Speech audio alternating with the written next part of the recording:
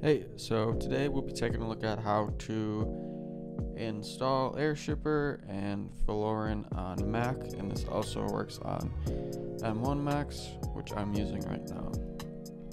So this is actually from a um, post on Reddit that I found, and we're going to be using that.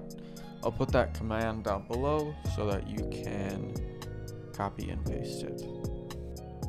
So make sure you go over to the Veloren website and download the Mac OS version. And then something you'll need to do is you'll need to unzip the folder that it downloads. And basically what this does is you'll find that it'll create just a document which isn't usable. So we're going to go into terminal and paste this command and replace the file name. And the easiest way to do this is simply drag the file in and it copies over the path.